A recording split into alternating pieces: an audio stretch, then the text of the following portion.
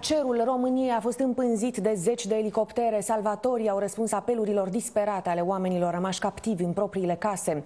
Speriați că locuințele le vor deveni mormânt, au aprins cauciucuri pentru ca echipele de intervenție să poată găsi. Coloane de fum negru s-au ridicat spre cer din cătunele îngropate în nămeți.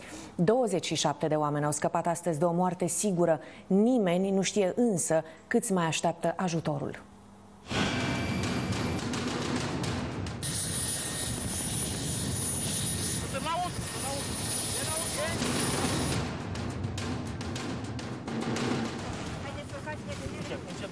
Sunt oameni care au fost prinși în mijlocul naturii dezlănțuite, acum prizonieri în propriile mașini. Deșertul alb a înghițit sat după sat și casă după casă.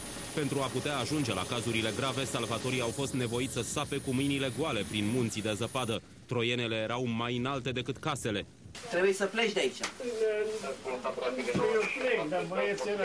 Credeți că veți mai fi scos dintre nămeți? Mai aveați speranță?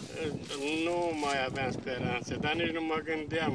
Mereu ziceam, Doamne, aici am Pentru a putea fi mai eficienți, salvatorii le-au cerut oamenilor să se ajute singuri înainte de a putea fi ajutați. Casele nu se mai vedeau nici măcar din elicopter, așa că salvatorii le-au cerut oamenilor să facă focuri pentru ca să-i poată zări.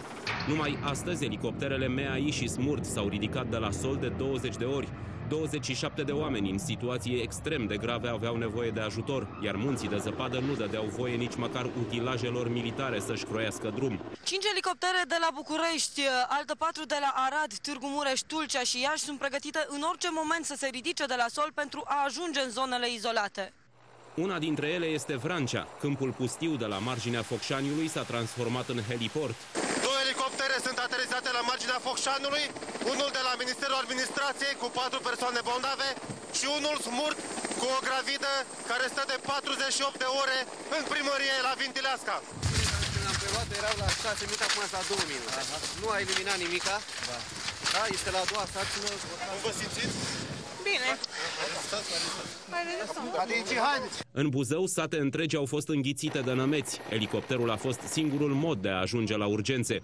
Numai puțin de patru oameni au avut nevoie de intervenție medicală de urgență.